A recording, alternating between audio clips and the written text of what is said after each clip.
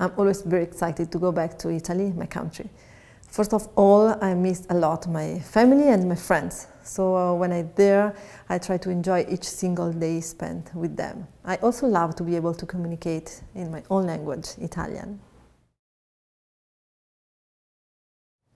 I spent there two full months and I really wanted to spend most of the time out, outdoor. So I went to the mountains and the sea with my daughter. So uh, we tried to hike, to swim, to move as much as possible after those long months of lockdown. And so despite uh, those difficult times, uh, we enjoyed a lot our uh, time in Italy. We also ate a, a lot of good Italian food. I did not perform at all over the summer. I just had holidays and time to practice, to be prepared for this busy uh, fall uh, with our new season, Reimagine season. Uh, but except of that, uh, of course, Italian orchestra started a bit earlier compared to other countries. I'd say in the middle of June. They, I think they played the first concert and with distancing and uh, with probably fewer people in the audience. Uh, but uh, I think the most they spent the summer recording. So I saw and heard many friends who were recording or just uh, playing concert but online. We have not been playing together for six long months and I wanted to go back to work smoothly, as smooth as possible.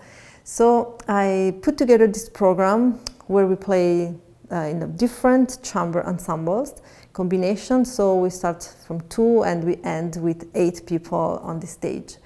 Uh, this is also a good opportunity for all of us musicians to be able to work in a different way. Uh, we are less, so we can concentrate on details, uh, which when we are a lot of people is difficult to manage.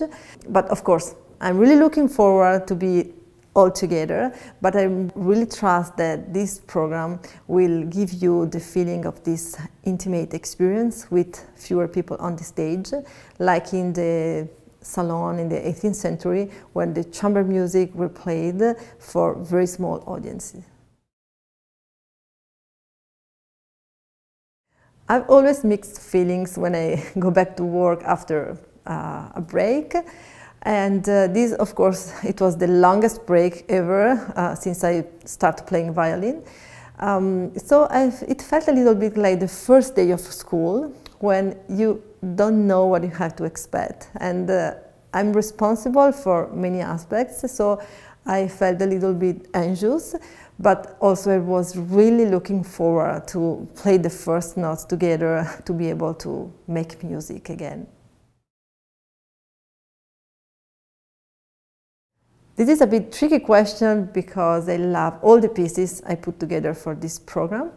But of course, I'm really looking forward for you to hear um, those works by Mozart and Beethoven, uh, which are not so well known. For example, the duo for bassoon and cello by Mozart, or the trio for winds instruments by Beethoven. And then there is another piece which is not very well known, a quintet for oboe and strings uh, by Druschetzky. This composer uh, wrote great music, but he isn't famous or popular as Mozart and Beethoven. But I particularly love this quintet because I recorded it many years ago with some of the best Tafelmusik's friends, like Alfredo Bernardini and Stefano Montanari. I was very young, uh, but I still listen to that recording and I enjoy the music and, of course, those musicians.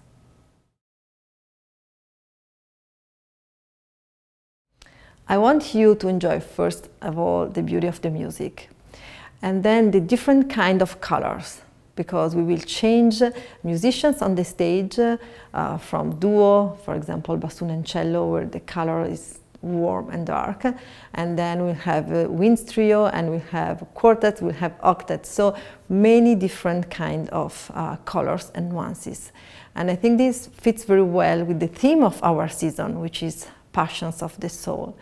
Um, I'd like you to feel all these uh, different kind of feelings while we'll be playing and I hope that you can enjoy the details and the intimacy of this experience through those chamber music pieces.